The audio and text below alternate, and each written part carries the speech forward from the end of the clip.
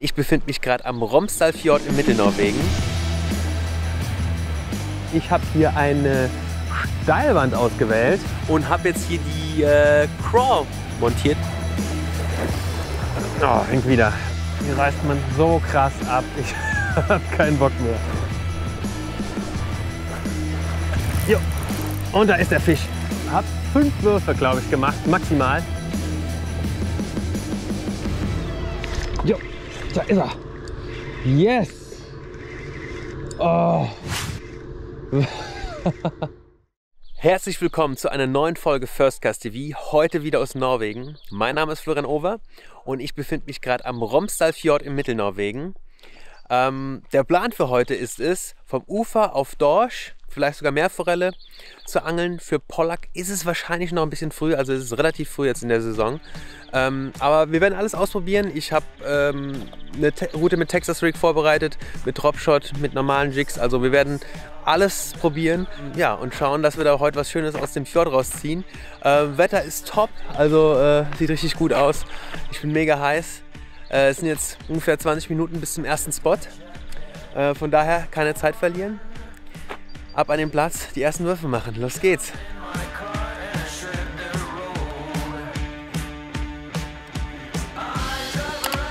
Ganz schön langer Weg. Aber die Kulisse ist mega. Und ähm, ja, ich hoffe, der Spot funktioniert.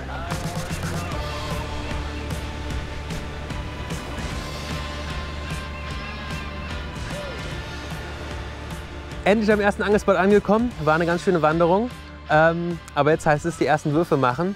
Vorher noch ganz kurz ein paar Infos zum Spot. Ich habe hier eine Steilwand ausgewählt. Hier will ich anfangen. Ähm, ist ja vor allem immer ganz gut für Pollack, aber auch nicht schlecht für Dorsch. Hier vor den Füßen geht es auch schon ganz schön runter.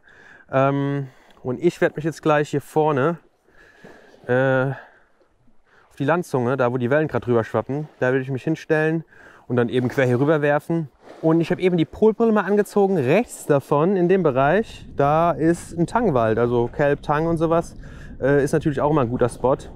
Vielleicht da gleich mal so ein paar Offset-Geschichten präsentieren. Texas Rig, Carolina Rig. Ähm, ja, Angriff würde ich sagen. Ich schnapp mir jetzt den Jig und dann äh, geht's los. Ich werde mal hier mit einem dreieinhalber Predator anfangen. 20 Gramm Kopf. Jo, das sieht doch gut aus. Ab zum Spot. Bisschen aufpassen. Ja. Ich habe eben noch mal Schuhe gewechselt. Ich glaube, das war nicht schlecht. So. Das sieht doch gut aus. Und wie gesagt, jetzt kann ich hier richtig schön parallel zur Steilwand feuern. Bügel natürlich auf beim Absinken.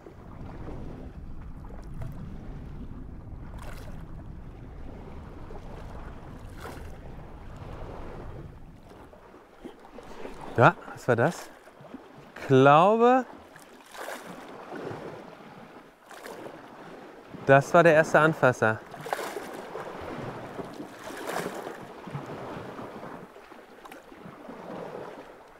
Ja. Nur so komisch angestupst. Jo, da war der Biss. Doch, Fisch. Da war Fisch. Ah. Nochmal nachgefasst. Ist die Frage. Vielleicht kleine Pollacks. Die zubbeln oft hinten an den Schwänzchen rum von den Gummifischen. Der Gummi ist auf jeden Fall komplett frisch. Weiß ich jetzt nicht, ob man das sieht. Aber war auf jeden Fall Biss. Ach, ist Leben im Wasser. Weitermachen.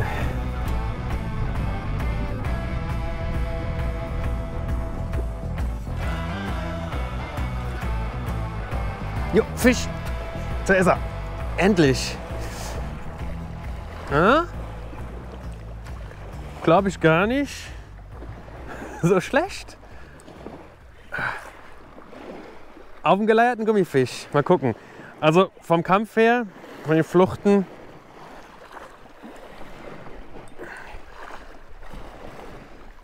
Fühlt sich wie ein Pollack an. Oder? Oder? Sie in der Vertikalen. Oh, macht sich jetzt schwer. Kann auch ein Dorsch sein. Können wir ein bisschen aufmachen. Hui. Ne? Ah doch, Dorsch. Schön. Nice. Hat auch äh, gut reingetockt, der Kerl. So, jetzt muss ich hier mal äh, mich ranschleichen. Ohne den Abgang zu machen. War der ist echt nicht schlecht.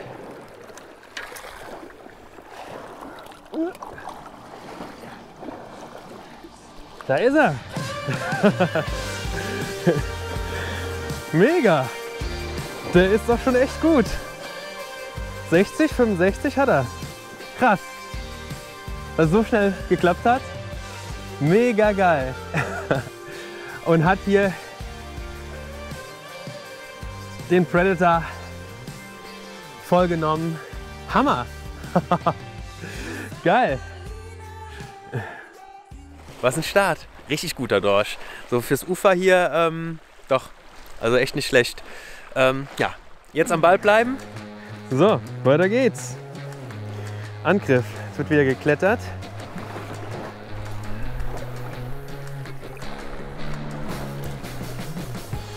An offenem Bügel absinken lassen.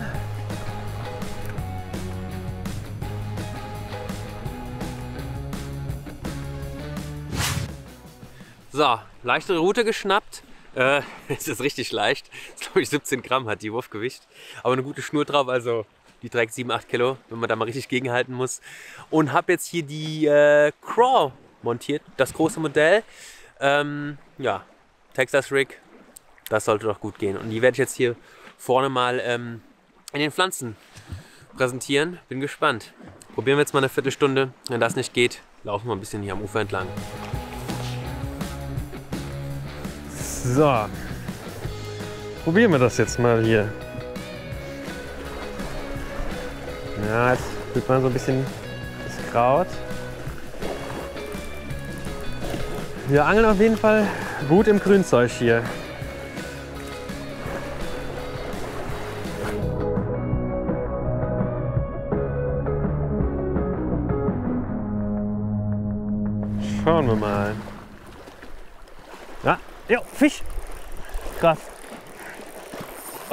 Ui, ui. Eieiei. Pollack. Müsste Pollack sein. Hui. Geil. Was ist hier los? Schön von den Pflanzen weghalten. Das ist kein, das ist natürlich jetzt eine 17 Gramm Route, ähm, aber ist kein kleiner Fisch. Das ist die Frage. Ja, der hängt in, in den Pflanzen drin, ich merke es richtig. Äh, Das ist natürlich Uiuiui. Bin gespannt. Das ist nicht so schlecht.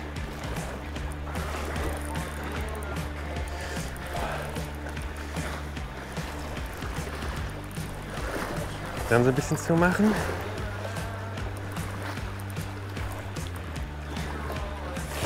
Was haben wir da?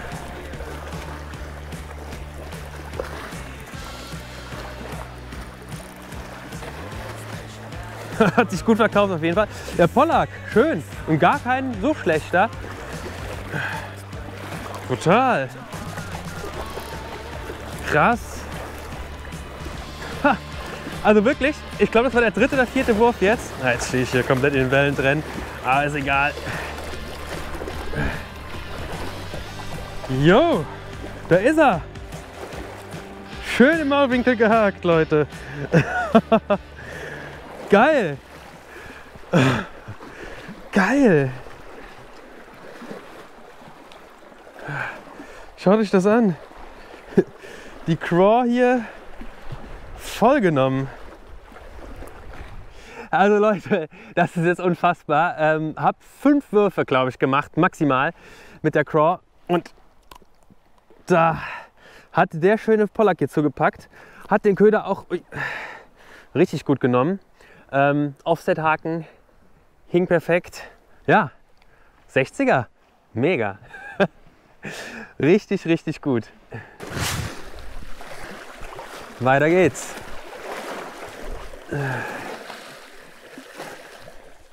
Bisschen auf Tiefe kommen lassen, das Ganze. Ist wichtig. Come on. Ah, ich merke so richtig, wie er durch die Wasserpflanzen quasi durchschleift, der Köder.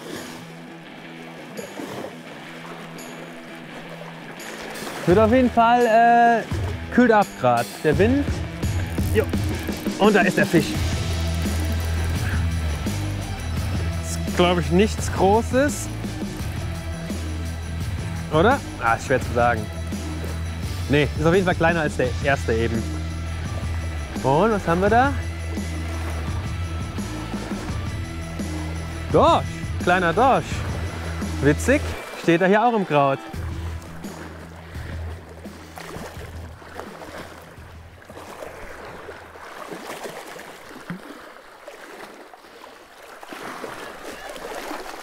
Da haben wir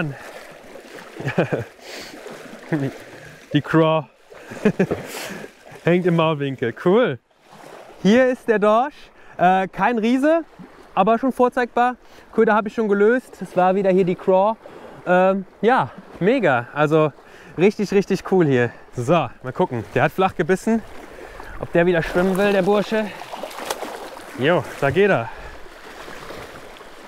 Weiter geht's. Fisch Nummer 3 ist verarztet. Ja, Abriss. Das ist unfassbar. Ah, gedacht, ich hätte einen Biss, aber wirklich, die Steinkanten hier sind so verdammt scharf. Probieren wir mal das Dekor hier. Jetzt hänge ich hier in der Uferkante ein, im Tank drin. Kelb. Ja, ist schon weg. Ja, Abriss. Oh, hängt wieder. Es ist so krass. Hier reißt man so krass ab. Ich habe keinen Bock mehr. Ja, das kann nicht wahr sein. So, das war's wirklich jetzt für mich.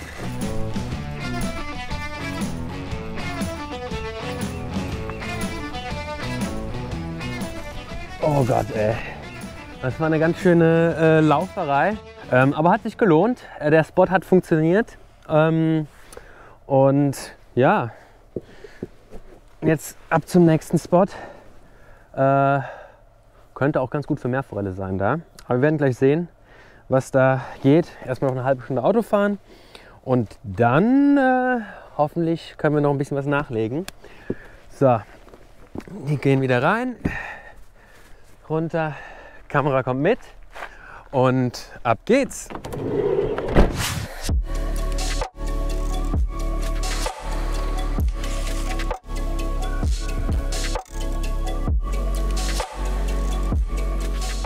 So Leute, zweiter Angelplatz. Ähm, hab hier so einen kleinen Hafen angesteuert. Ähm, sieht richtig gut aus. Werde jetzt auch mal ein Drohnenbild einblenden. Und zwar zur linken Seite hier rüber. Äh, da hat man die Hafenmole und dahinter zieht sich hier vorne quasi so eine relativ tiefe Kante entlang. Ähm, und je weiter man jetzt nach rechts kommt, hier rüber, äh, desto flacher wird es. Ähm, wird auch richtig sandig darüber. Man hat teilweise äh, so Tankfelder ja, quasi einen Leopardengrund, so wird es der Meerforellenangler nennen. Und damit habe ich jetzt auch gerade begonnen. Ich habe jetzt den Predator montiert. Meine Erfahrung, äh, Gummifisch, absolut guter Köder für Meerforelle. Aber es gibt viele Fehlbisse, wenn man klassisch mit G-Kopf angelt. Von daher der Stinger, habe so einen kleinen Twinex-Haken da reingebastelt. Ähm, ja, bin gespannt. Probiere ich aber auch heute zum ersten Mal. Ähm, ja, machen jetzt ein paar Würfe. Wenn das mit der Meerforelle nicht klappt, dann wird wieder auf Dorsch geangelt. Und es ist oft auch so äh, an den Plätzen hier, wenn eine Meerforelle da ist und die beißen will, dann hat man die auch relativ zügig drauf. Von daher ein ähm, paar Würfe machen. Wenn jetzt keine Reaktion kommt, es keinen Biss gibt, dann äh, versuchen wir hier noch einen Dorsch zu fangen. Oder einen Pollack, wer weiß.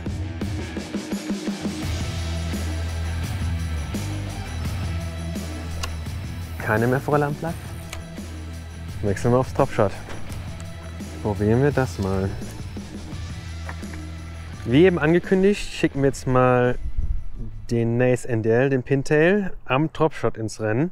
Ähm, bin gespannt. Hab noch nie im Meer mit Topshot geangelt, ehrlich gesagt. Aber das Problem, was man ja eigentlich immer hat, ist die Wurfweite und wie lange man seinen Köder, sag ich mal, im effektiven Bereich halten kann.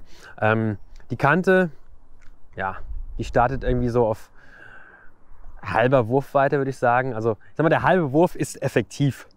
Da hat man den Köder in der effektiven Zone. Jetzt müsste der unten sein. Und ich würde das wie beim Zander- und Barschangeln einfach machen, dass man so Schläge in die schlaffe Schnur gibt. Dann schießt er so hoch, dann lässt man wieder an schlaffer Schnur ein bisschen runtertaumeln, dann wieder einen Schlag in die schlaffe Schnur. Natürlich keine Methode jetzt hier im Meer, um Strecke zu machen, aber wenn man weiß, der Spot ist gut, dann kann man damit natürlich sehr effektiv angeln. Ja, das war heute Morgen schon. Ähm, richtig gut. Aber wir waren auch zur besten Zeit am Platz, also zum, zur Flut, zum Höchststand. Die Stunde vorher, Stunde nachher ist eigentlich auch immer die beste. Man sieht es auch jetzt schon. Äh, ist fast wieder einen Meter runter, das Wasser.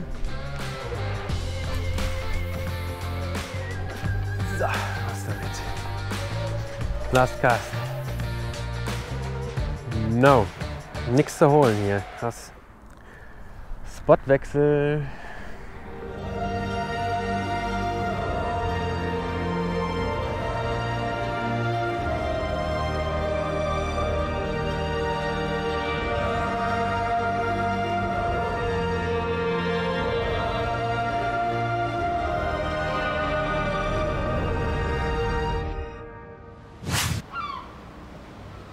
Wir sind am letzten Spot des Tages angekommen. Der Hafen von Andalsnes. Man sieht im Hintergrund auch das Hurtigrutenschiff liegen.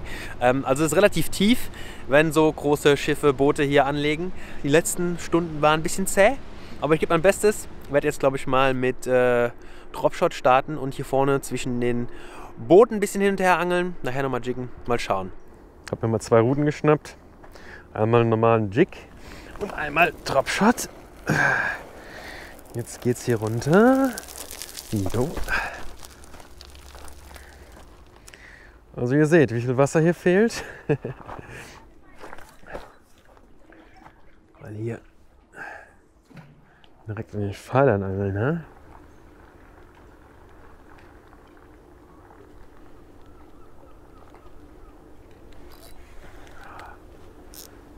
Weiß ich nicht. Keine Ahnung, ob das Plein oder irgendwie wenn die Kante gerollt ist. Oder ob da was tatsächlich was gezirbelt hat. Hm. Come on! Oi! Oi! Okay. Dann war es ein Biss. Ich habe nur zwei von diesen Pintails. Jo. Einer ist weg. Ich bastel mir noch mal schnell ein Texas Rig zusammen. Das war ja heute Morgen tatsächlich ähm, am effektivsten, hatte ich das Gefühl. Zack. There we go. Kleine Craw am Texas Rig. Ja, ähm, das auf jeden Fall jetzt mal probieren. Und ich glaube, wir werden mal auf die andere Seite wechseln. Ähm, da ist ein bisschen tieferes Wasser. Also jetzt gerade hier alles zusammenpacken, ab darüber. Und hoffentlich noch einen Fisch fangen. Es gibt eine kleine Kletterpartie hier. Das Baustellengelände. Sollte doch klar gehen. So, jetzt sind wir quasi wieder auf Augenhöhe mit dem Wasser. Hier unten drunter gleich ein paar Würfe machen. Ja, da hinten vors Schiff feuern. Fangen wir mal mit äh, Texas Rig an. So. Hier ist Sandboot, man sieht es ja hier am Rand. Und ich schleife jetzt hier die Craw einfach mal schön über den Sandboden.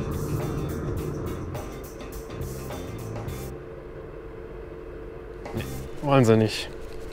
Ja, Leute, es kann nicht wahr sein. Ne? Ähm, jetzt hier nochmal den kompletten Flachwasserbereich mit äh, Texas Rig abgesucht. Richtig schön langsam geangelt, geschliffen. Brutal. Wirklich Seife kauen angesagt.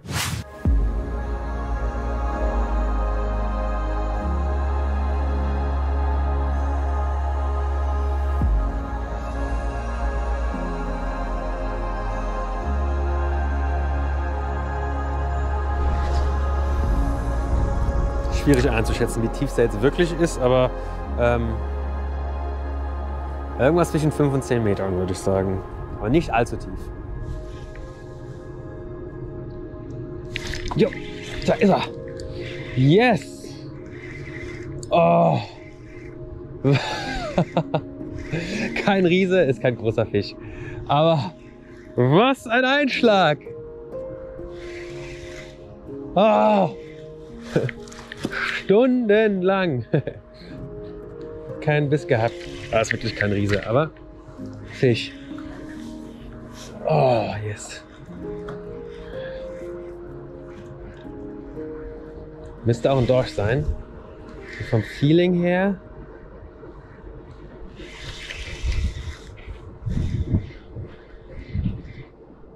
Oder? Ja. Kleiner Dorsch. Den werde ich auch direkt hier im Wasser verarzten. Glaube ich. Da ist er. Was hat er? 40, 45 vielleicht? Komm. Auf den orangenen Predator. Komm, gib ihn her.